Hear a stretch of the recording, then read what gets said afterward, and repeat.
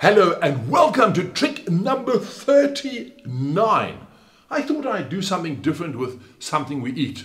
Now, I don't know about you, but I'm forever trying to diet. And I'm thinking crunches, but my brain goes cupcakes. Has that ever happened to you? I'm sure it has.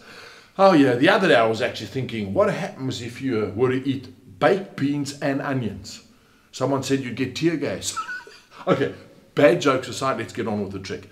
I want to show you a classic, and it works with one of these sachets of sugar. I've opened it already, and we're going to get to that now. I need you to notice that no watches, rings, nothing in the hand, nothing over there, nothing over here.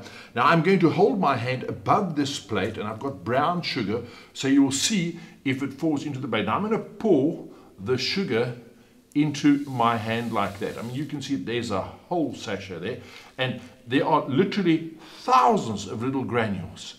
That's it. So there we go. Now what I'm going to do, and I want you to watch carefully, I'm going to squash these all together like that. And if I open the hand wheel, so and this is where you've got to watch carefully.